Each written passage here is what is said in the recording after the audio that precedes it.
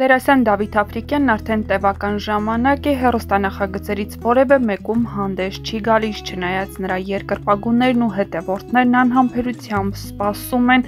նոր նախագծերին նրա մասնակցությամբ։ Դերասան Դավիթ Աֆրիկյանն ամուսնացել է հարսանեկան նոր լուսանկարներն ու տեսանյութերը հրապարակել է հենց ինքը դերասանը։ Մարմնից յուրաքանչյուր բջիջ հաղթական հակոստներով տոնում են իրենց վերածնունդը մարդկանց աշխարհում լուսանկարներին կից գրել է Դավիթ Աֆրիկյանը, նշելով, որ հարսանիքը տեղի է ունեցել 08-05-2024 թվականին։ Կանցնեն օրեր, ամիսներ, տարիներ, քաղաքներ, մարդիկ, բայց այն ինչ օրնված է ի վերուստ կմնա հավիտյան, քանզի այն ինչ միացրել է Աստված, ոչ ոք բաժանել չի կարող։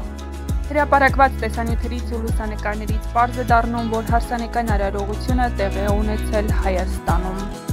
Մեր ողջ ստեղծագործական թիմը միանում է բոլոր շնորհավորանքներին ու սիրված դերասանին միայն երջանկություն ու անսպարս սեր է ցանկանում։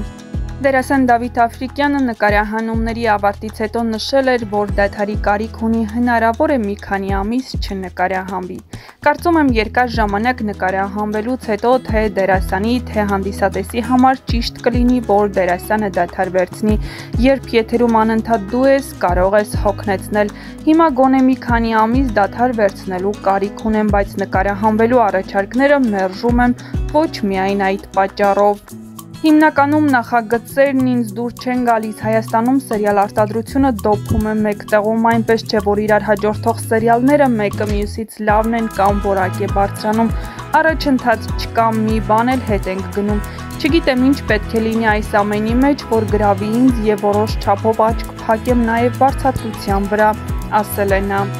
Դերասանի խոսքով որակապես լավ սերիալների հիմքում ֆինանսն է, իսկապես մասնագետները նորմալ գումար են պահանջում, բայց սերիալային ռեժիսորներին, դերասաններին Հայաստանում չես կարող նման աշխատավարձ տալ։ Այդ պատճառով էլ սերիալ արտադրությամբ են զբաղվում այն մարդիկ, ովքեր համաձայնում են քիչ աշխատավարձին, լավ մարդիկ են, բայց չունեն կինոմտածողություն։ Մեր սերիալներին այսօր հենց կինոմտածողության մարդիկ են պակասում, եթե չկա գումար, չես կարող հավաքել դերասանական լավ կազմ, կամ էլ կարող ես երկուսին վերցնել, ովքեր չեն կարողանալու պահել 30 հոգանոց ամբողջ օրգանիզմը։ Երբ դիտում ես ամերիկյան սերիալ արտադրողների աշխատանքները, զարմանում ես, կարծես ֆիլմեր լինեն, ոչ թե սերիալներ, նշում է նա։ Դավիթը նկատեց, որ իր համար սերիալային վարձատրությունը շատ քիչ է։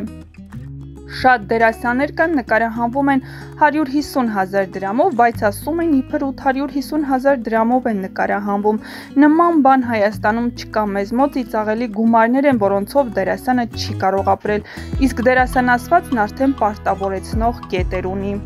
Դու բեմի մարդ ես, պետք է միշտ պատշաճ ներկայանաս, չես կարող եթերում պատրված հակոստով լինել, իսկ սերիալներում հակուստ չեն տալիս։ Դերասանն իր հակոստով է նկարահանվում, կողքից օգնող միակ հանգամանքը կորպորատիվ միջոցառումներն են, որոնց միջոցով ավելի շատ գումար է սպաստակում, քան հեռուստատեսությունում։ Ինքս էլ վարում եմ նման միջոցառումներ,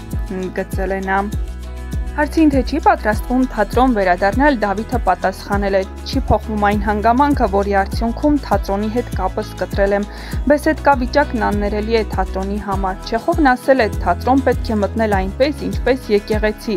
Եկեղեցում նարդի չեն խաղում, գարեջուր չեն խմում։ Թատրոնը տաճարից առանձնացել է, դարձել է մի առանձին կառույց։ Հազարից մի ներկայացում է, որ մտածում ես լավն էր։ Ցավալի է, որ հիմա թատրոնում չեմ, միշտ եմ կարոտում, թատրոնը միշտ ցանկացել եմ վերադառնալ։ Նույնիսկ պիես էի գրում, ուզում էի որպես ռեժիսոր թատրոն վերադառնալ, բայց կիսատ թողեցի։ Եկավ մի պահ, երբ հասկացա, որ այլևս չեմ կարողանում գրել։ Կարող ես 15-20 օր գրել ու այլևս չկարողանալ գրել։ Եղել է ինձ ստիպել եմ գրել, հետո ջնջել եմ գրածս։ Թատրոնը նաև մեծ ժամանակ է խլում, օրվա ժամանակի 60-ից 70%-ը պետք է թատրոնում անցկացնես, իսկ վարձատրությունն ավելի վատն է, քան սերիալներինը։ Դերասանը նշել է, որ եթերում ուղակի Երևալու ցանկություն երբեք չի ունեցել, միշտ մտածել եմ պետք է ներկայանալ այն ժամանակ, երբ ասելիք ունես։ Նույնիսկ հարցազրույցների եմ հազվադեպ համաձայնում։ Եթե իմ ասելիքն արդեն ասել եմ, ինչ իմաստ ունի կրկնել։ Իմ մասին հիշեցնելու տարիքից վաղուց դուրս եմ եկել, ֆինանսապես էլ ապահոված եմ, ամեն բանի համաձայնելու խնդիր չունեմ։ Ներքին ցավ եմ ապրում, որ զբաղվում եմ բիզնեսով, բայց ոչ թատրոնով։ Տարիներ շարունակ օր ու գիշեր սովորել եմ, անցել եմ ճանապարհ հենց թատրոնի դերասան դառնալու համար, բայց այսօր թատրոնում զբաղվածություն չունեմ արդեն քանի տարի է, թատրոնի հետ կապ չունեմ նույնիսկ որպես հանդիսատես։ Սկսած թատերական ինստիտուտից ամենտեղ ամեն ինչ պատացել է։ Որոշ ժամանակ առաջ փորձում էի բուհում ինչ-որ ներդրում անել, շուրջ 6 ամիս պարբերաբար եղել եմ այնտեղ, այդ ժամանակ էլ հասկացա ինչքան բան է փոխվել դեպի վատը։ Բայց վստահ եմ տարիներ հետո դրական փոփոխություններ կլինեն, թատրոնը թղթախաղ խաղալու տեղ այլևս չի լինի։ Թատրոնի դերասանները կվարձատրվեն այնքան, որ կարողանան նորմալ ապրել, բայց դա կլինի կարծում եմ այն ժամանակ, երբ ես 80 տարեկան պապիկ կլինեմ։